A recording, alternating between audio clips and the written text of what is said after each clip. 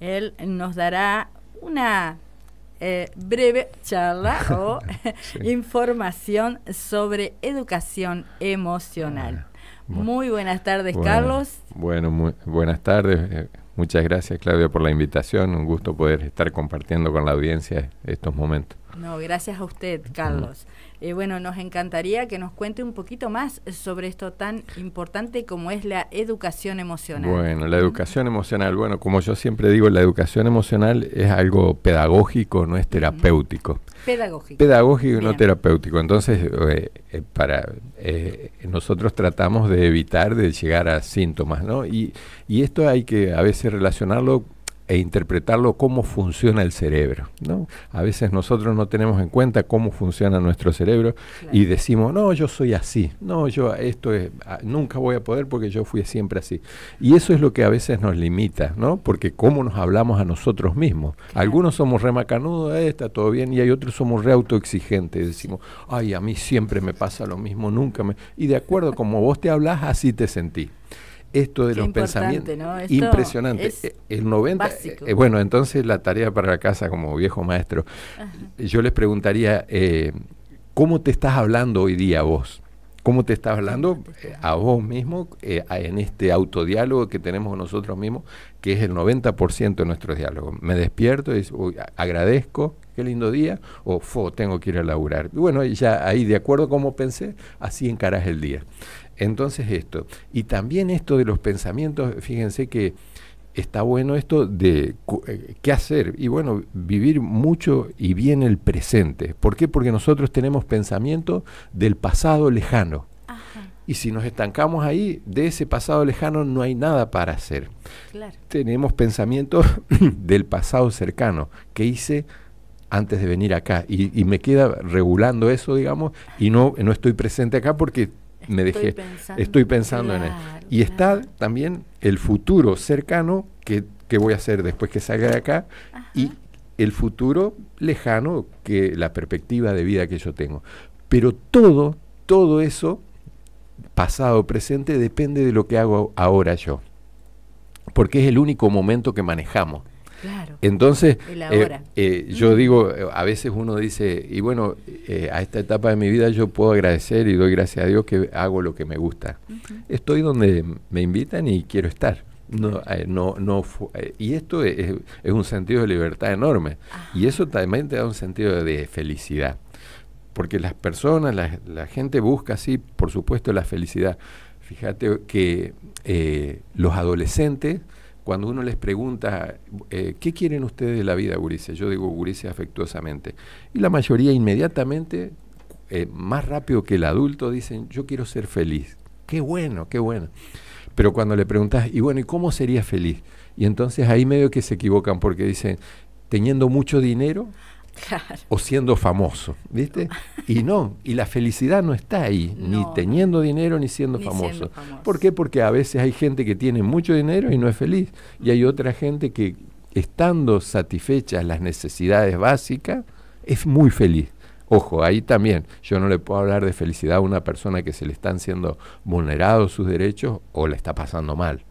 Pero cuando está en ese, pasa ese umbral de, las satisfacciones básicas satisfechas, ya está en condiciones de encontrar ese sentido de felicidad. ¿Cómo? yo siempre digo que lo más interesante e importante es agradecer por todo lo que tenemos. Lo que, y bueno, estar vivo, estar sano, estar poder, poder compartir unos mates con alguien, charlar, todo lo que es natural nos hace sentir bien. bien. Y a veces también esto, eh, ir por esto que nos produce esa satisfacción y bienestar, no buscar el placer por el placer mismo. ¿Qué es esto? Fíjense, a veces se confunde placer con felicidad. A veces el placer se lo debe estimular. Pero cuando vos estimulás para tener un placer, después necesitas más y más y más. Y cuando se acaba el efecto de eso, estás triste. Así actúa el ser humano. Así actúa el ser humano. Entonces, ¿Cuál sería el placer bueno, digamos? Bueno, hice una cosa bien, me doy un gusto. Pero no ir tras esto, ¿no? Y fíjense que porque en ese en esa cuestión nosotros liberamos en nuestro cuerpo dopamina, que es la hormona del deseo. Y, por ejemplo, hoy estamos muy tentados con las pantallas. Yo tengo que estar chequeando continuamente. Y eso del chequeo continuo es que mi cerebro a través de la curiosidad se genera el deseo de, ver a ver qué pasa. Y siempre casi pasa lo mismo, pero perdemos mucho tiempo en eso. ¿Por qué? ¿Y por qué? Porque estamos generando excesos de dopamina. Y entonces eh, un rato con el celular ya no es suficiente, sino que necesitamos horas. ¿Y por qué? Porque también esto es uno lo que, lo que, lo que tiene que mejorar acá es la voluntad. ¿Y cómo mejoramos? Eh, cortame, Claudia, porque yo sigo. no, eh, por eh, favor, no, ¿Cómo mejoramos la voluntad? ¿Cómo mejoramos la voluntad? Con la construcción de buenos hábitos. Por ejemplo, para un niño, enseñarle que tienda la cama, que tenga hábitos de lectura, que tenga hábitos de orden, que tenga... ¿Cómo hacer para que el niño entienda? Eso, y cuando vos generás hábitos, nosotros también, cuando cuanto más hábitos una persona tiene, más voluntad tiene. ¿Por qué? Porque en ese hábito construye voluntad y construye orden también para la vida. Ejemplo, es una rutina de tres veces por semana ir al gimnasio, es un buen hábito. Y eso te empodera y te hace sentir bien, te hace sentir satisfecho. Hagamos este ejercicio. Si yo tengo dos horitas libres y tengo que elegir entre quedarme a mirar la pantalla o salir a caminar. Si me quedo a mirar la pantalla, después de esas dos horas voy a decir, uy, qué macana, qué pérdida de tiempo hice. Pero si vos salís a caminar o correr y llegás medio destruido porque hace mucho que no corres o qué sé yo, no te arrepentís de eso. ¿Por qué? Porque es una actividad salutógena. Esto el cuerpo y el cerebro lo sabe. Entonces, por eso nosotros tenemos que estimular a la vida en la naturaleza, al deporte, al movernos, ¿no?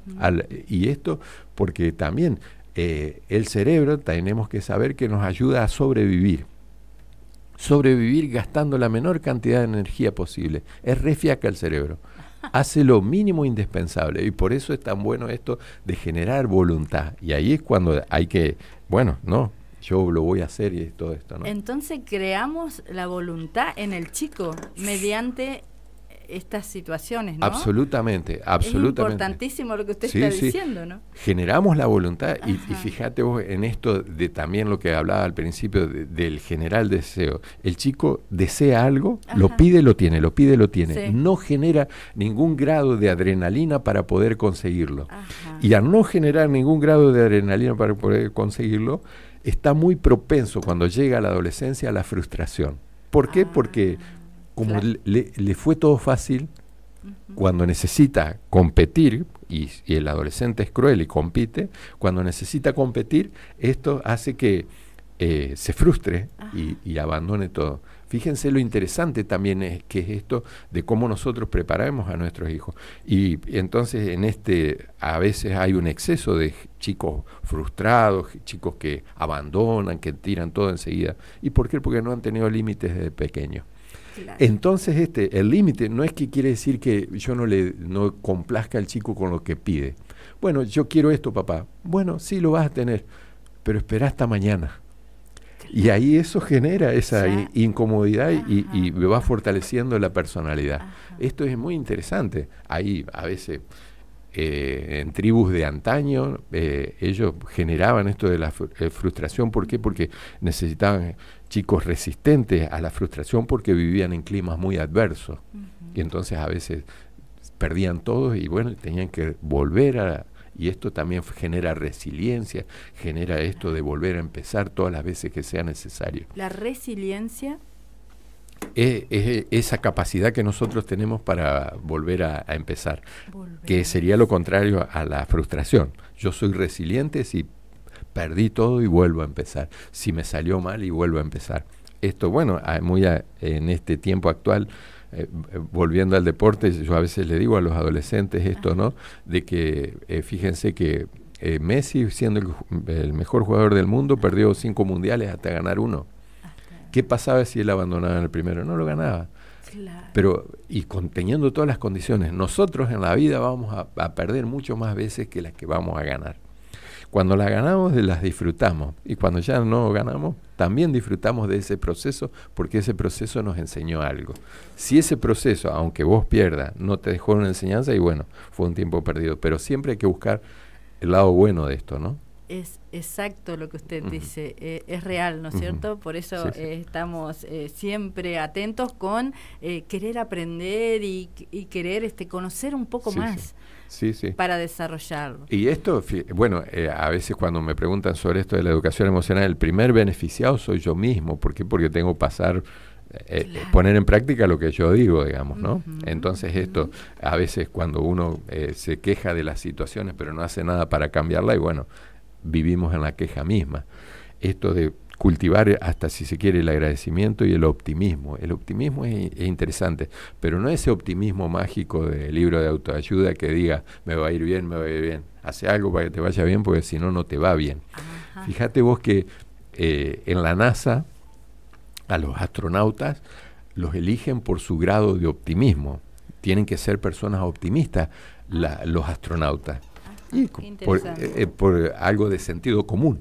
Algo de sentido común, porque imagínate que un astronauta le diga a su compañero, che, iremos a llegar, no te subí ni a palo con esa persona. Entonces todo eso tiene que ver con esto, ¿no? Darle, este, bueno, el sí o la parte positiva, a esa actividad. Bueno, eh, por último, como siempre lo digo, el tiempo aquí es un poquito. No, no hay problema, me encantó. Eh, pero nos gustaría que nos cuente un poquitito sobre su actividad actual eh, en la política.